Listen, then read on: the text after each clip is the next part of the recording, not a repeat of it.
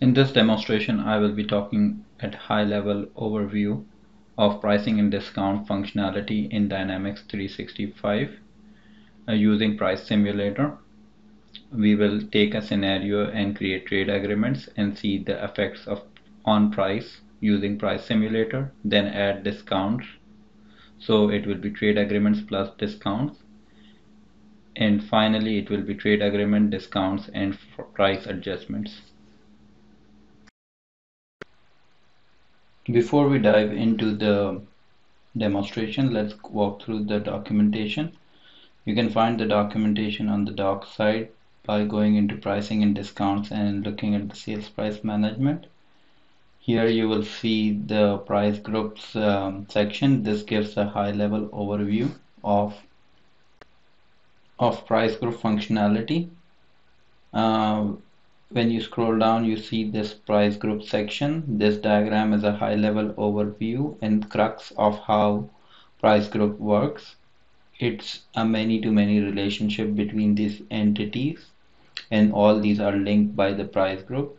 You create a discount and link it with price group and then you go into either channel catalog and then link it up with them. So it's it's exactly a many to many relationship so to begin the demo, I will first create a blank price group and link it in the price simulator and show what is the impact that you know it's not showing any uh, any of the other components of discounts and pricing in the price simulator.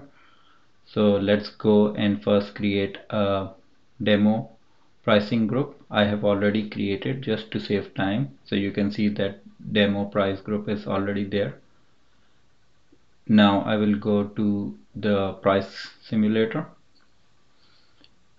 And already created a, pro a, profile here and you know given the name and linked it with the Houston channel ID um, and added a line which we will remove and re-add just to show that it's not bringing any other discounts uh, discounts trade agreements or price adjustments so let's remove this line just to make sure that the page is refreshed and we are getting the refreshed calculation. So added the item again. You can see the item price is 69.99 uh, and there is no retail discounts trade agreements um, showing up here. And there is no price adjustments as well. So and on the side you can see that price group is also linked in the lookup. Um, so one by one we will make the changes to the price group and see the impact on pricing. Let's begin the part one of the demo in which I will be creating a trade agreement with customer and item and linking it with price group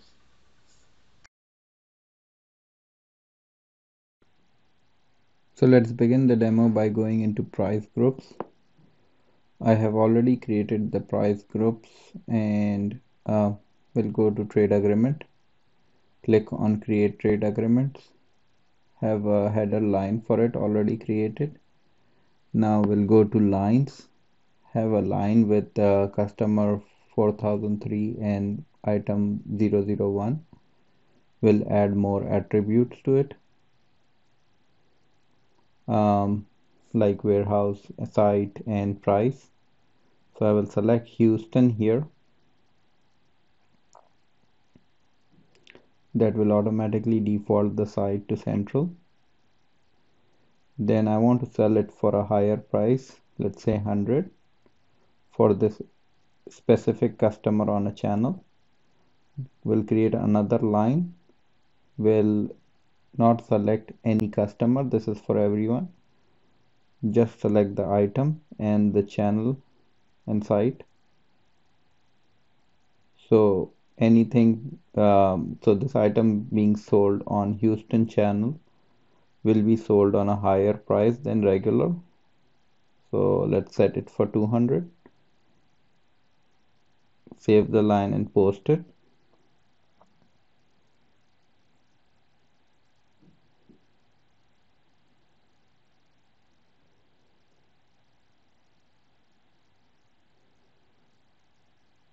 so now the trade agreement is posted. I will go to price simulator to see the changes on the price. Um, this form is not refreshed so I will just make some changes to get the refresh data. Let's select the customer to trigger that. Selected the customer and now you can see the trade agreement lines just show shows up in the bottom section which we have just posted and you can see the price is also changed from 69 to 100 now I will remove the customer to make the price to 200 uh, because this channel is Houston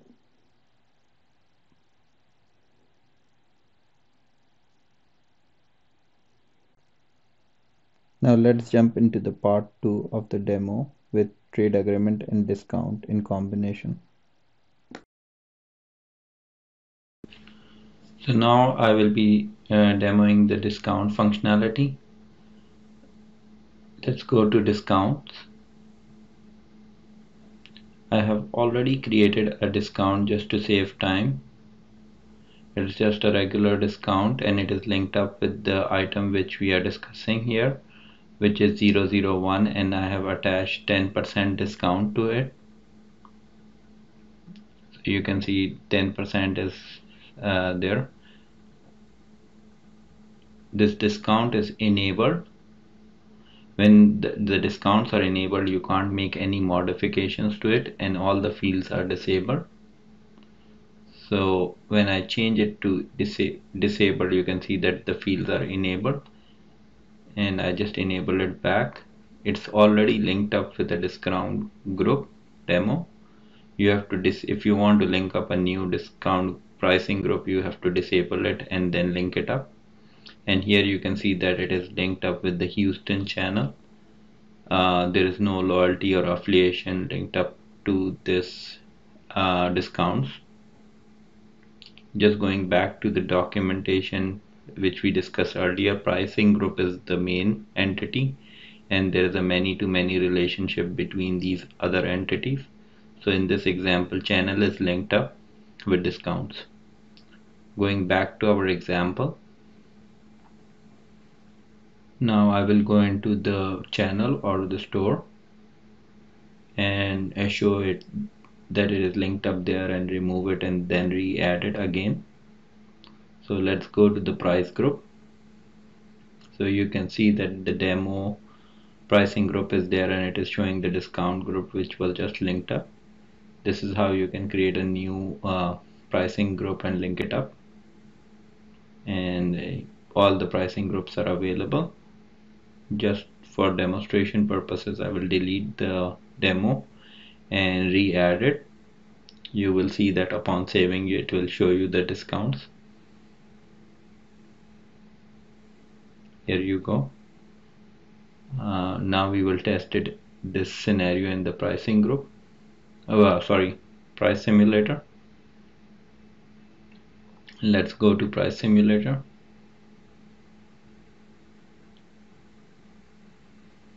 And you can see that this uh, demo is linked up with the Houston channel.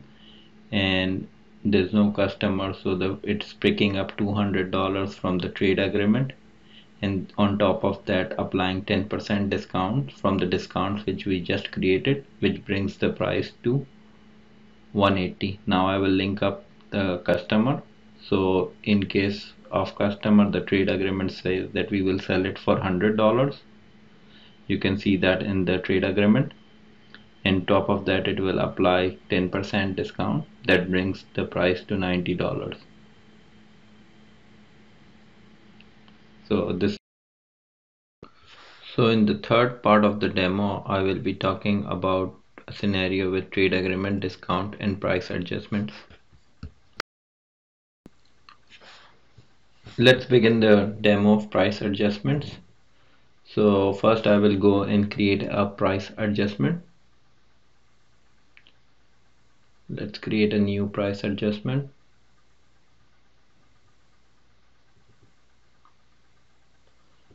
uh, call it demo adjustments.